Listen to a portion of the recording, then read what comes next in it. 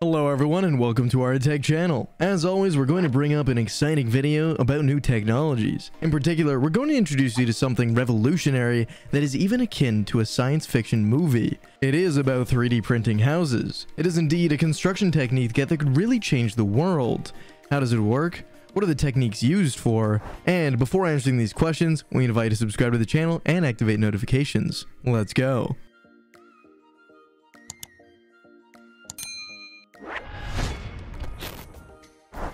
From ancient times to present day, man has always been fascinated by construction and grandeur.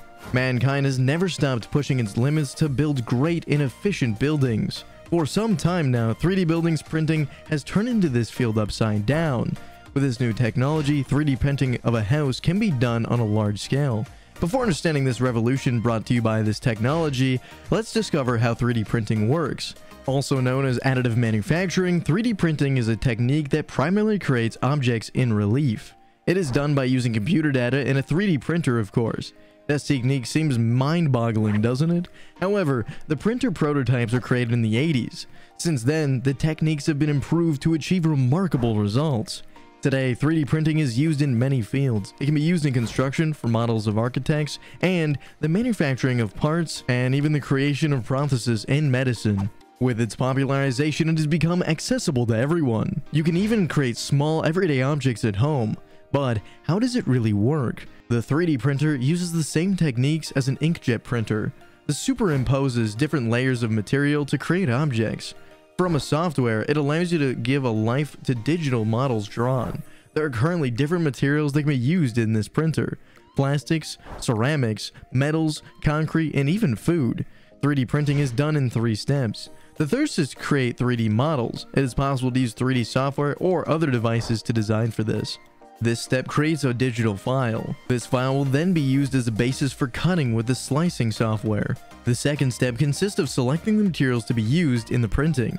The choice depends on the realizations to be carried out.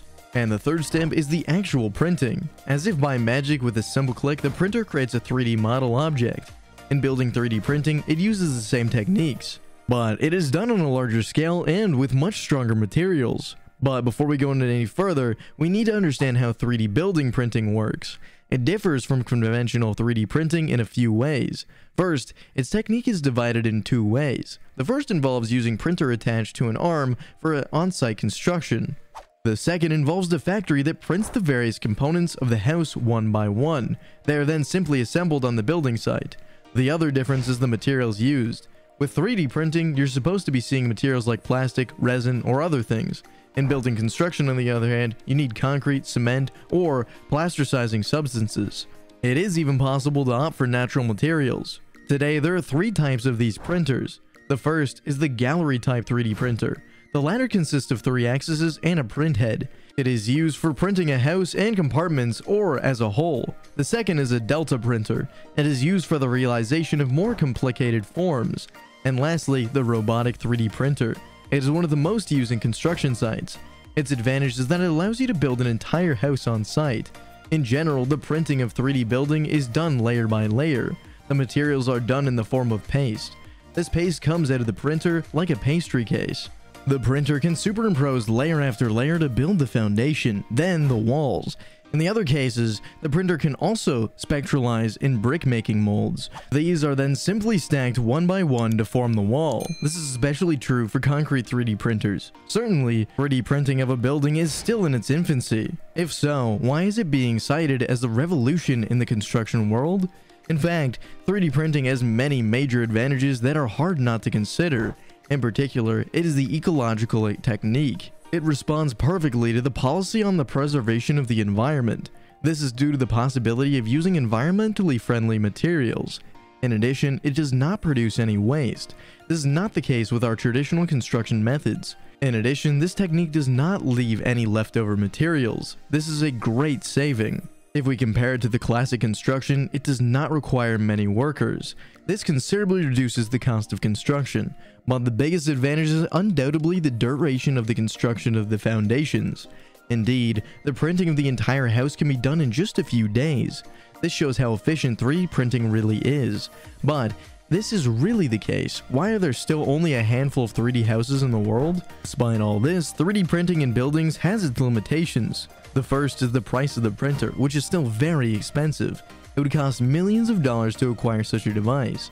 This is why it is still difficult to individual to make such an investment. Most of the time it is companies that have resources to these materials. On the other hand, some works in the house are not yet included in the 3D modeling program. This concerns, for example, the plumbing work.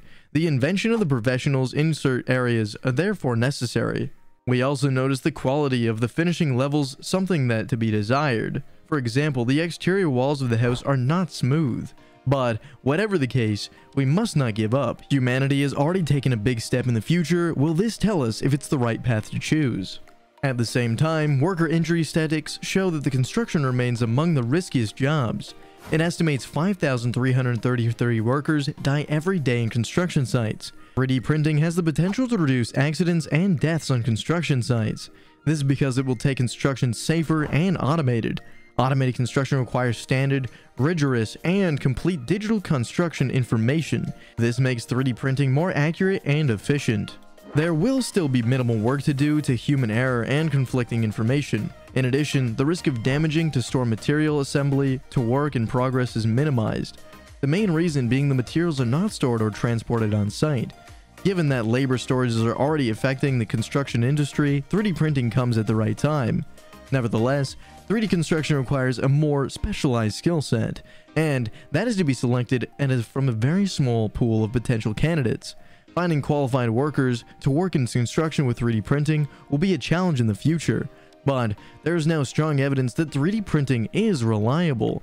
It is usable in the construction industry, and it is likely that the technology will become more mainstream in the coming years. Now the question is where it can be used with any necessity in construction sites. Using it as a prefabrication tool seems like a good start to changing the world. 3D printing is certainly interesting concept, but it is important to be critical for this hype. Skeptics will say that this technique has certain limitations. Optimists say that this revolution is already being printed brick by brick.